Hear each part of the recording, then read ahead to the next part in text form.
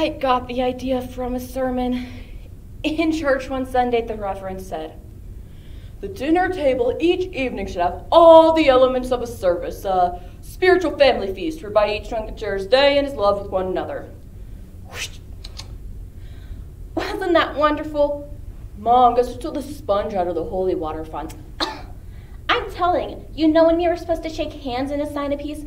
Guess who pressed a dirty nose tissue into my hand and then wouldn't take it back?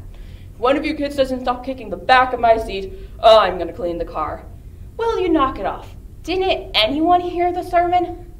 Uh, yeah, it was something about uh, sharing pizza. It was not about sharing pizza. It's about sharing your spiritual love at a family feast. Same thing. Do you know when was the last time this family ate a meal together?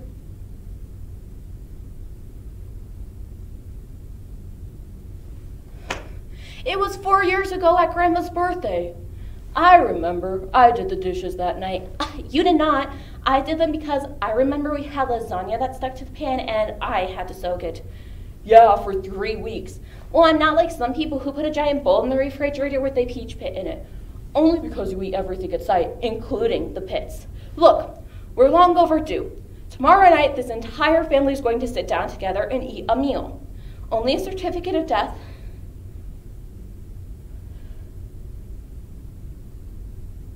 a recent one, will be acceptable for a no-show. I was going to practice cheers with Linda and then go to the library. You know I have practice until 7.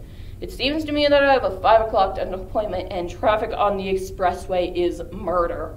Maybe Tuesday would be a better day. Dinner on Monday together. I am the youngest of four children in my family. If your house is anything like mine, dinner time can be pretty chaotic. But since I'm the youngest, I could just sit back and watch it all unfold because trying to get a word in edgewise is like talking to someone in the dead of a hurricane. In Starving to Death at the Spiritual Family Feast, Erma Tom Bombeck talks about her own personal experience with family dinners.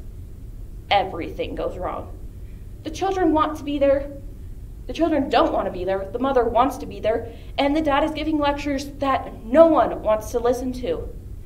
This is Starving to Death at the Spiritual Family Feast by Erma Bombeck. At 6 p.m., the scene was set for the great spiritual banquet. It held all the giddiness of the Last Supper. Well, now that we are all together, each one of us should think about sharing our day with one another. That should be an enriching experience. Do you know what Ramsey Phillips said were the seven words you can't use on TV? Not that enriched. Dear, what would you like to talk about? Now, that was a mistake. Over the years, my husband has composed and committed to memory five standard dinner table lectures that are as familiar to us as the Pledge of Allegiance. They include 1. Why don't you want your father to have a front lawn? 2 minutes and 48 seconds. This is a real heart tugger in which Dad recaps his failure to triumph over bikes, sleds, plastic pools, football games, dogs, cars, wagons, and all the little perverts who cut across his lawn just to make him paranoid. When his eyes begin to mist, he is ready to go for options. Donate the yard to the government for nuclear testing. Put a sentry at the driveway with a loaded rifle. And perhaps, have the children take an interest in mowing, fertilizing, and trimming the yard so they can appreciate what he is trying to do.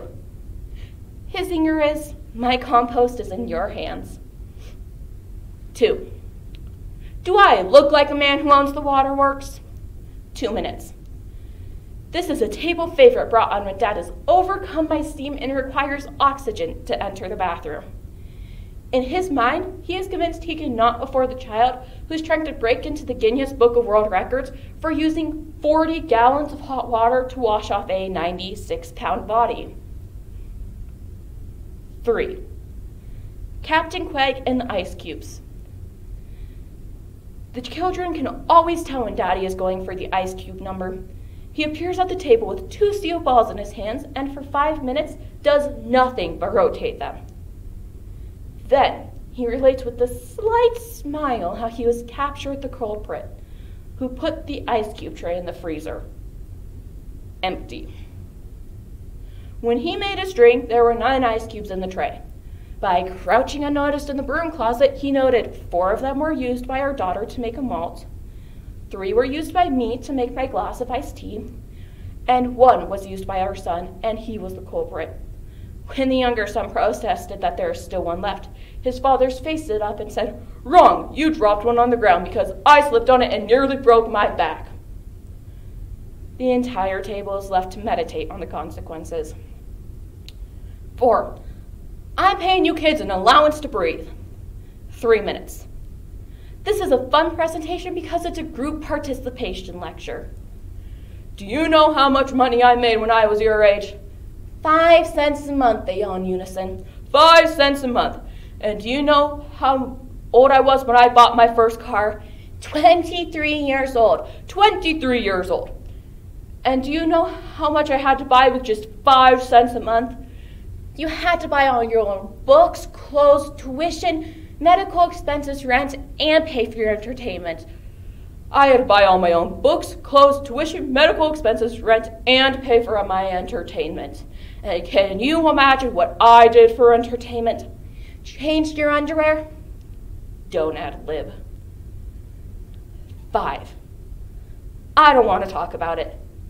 30 minutes long. This is the lecture we have all come to dread. It's the I don't want to talk about it lecture he talks about all during dinner. Dad appears at the table, morose, depressed, preoccupied, picking at his food, a picture of utter despair.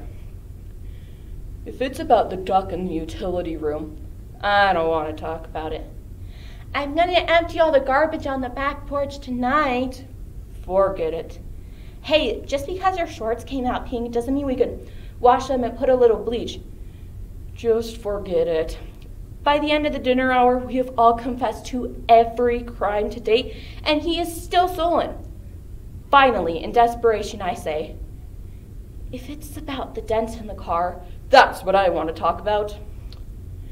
This Monday evening, however, my husband surprised us all by introducing a new lecture. It was called by gosh, we're going to be a close knit family if I have to chain you to the bed. Well, it certainly is wonderful sitting down together for a change. Is that it? Can I go now? No, stay put. I am your father. We thought you were taller. I'm sorry if I haven't seen as much of you as I would have liked. It isn't easy commuting to and from the city every day. Now, we're going to go around the table, and each one of you could tell me something about yourself. I'm the middle child. I'm the token girl in the family. I like birthday cards with money in them, bathroom doors that can't be unlocked by releasing it with the pin, and I want to be a professional cheerleader when I grow up. Can I go or does it have to be longer? Stay put. Next. I'm the middle child in the family. I'm bored, depressed, neurotic, unfulfilled, subject to pressures which will eventually drive me to my own apartment. Hey, don't I get to say anything again? Do you realize that because I'm the youngest of this family, I never get to open my mouth? I've been trying to tell a joke at this table for the last three years. The boy's right. Take those wires out of your ears and tell us your joke. Well, there's the stutterer. I've heard it. How do you know you've heard it? There are a lot of guys who stutter. I happen to know that of all the guys who stutter, only one of them made a joke out of it. Well, this guy from the north said to this guy from the south, Mom, don't let him tell it. It's sick. Well, if you heard it before, you should have stopped me. It's not my turn to do the dishes. When was our last spiritual family feast we shared together? It was four years ago at Grandma's birthday. Time flies when you're healing.